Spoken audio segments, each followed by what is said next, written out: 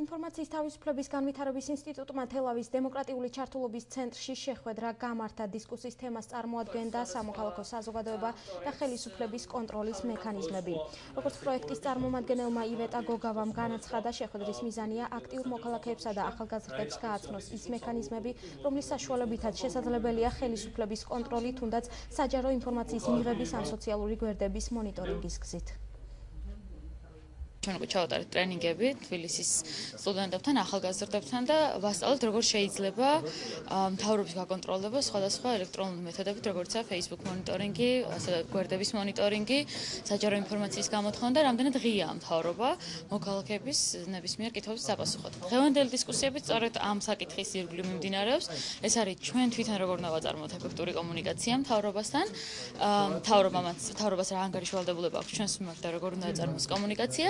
და ასევე თქო ადვოკატირება როგორ უნდა მოახდინოს სხვადასხვა სექტორის წარმომადგენლება ბიზნესი იქნება ეს თქო სამოქალაქო თუ ნებისმიერი სხვა სფერო როგორ უნდა მოახდინონ გავლენა მთავრობაზე? ყველაზე აქტუალურია და ძირითადად ხაზი გაესვა კონტროლი აღმასრულებელი ხელისუფლების არასამთავრობო ორგანიზაციებით მოქალაქეების მხრიდან მასმედიის მხრიდან და სწორედ აი ეს წინადადებების მიწოდება კიდევ რა პრობლემებია ქალაქში, დასახლებაში, ქუჩაზე, корпуში და ასე შემდეგ და მათ იციან თუ არა, თუ არ იციან ჩვენ მივაწვევთ ეს ინფორმაცია და მოახდინოთ აი ამ საქმიანობის კონტროლი რამდენად სწორად ან გაკეთდა.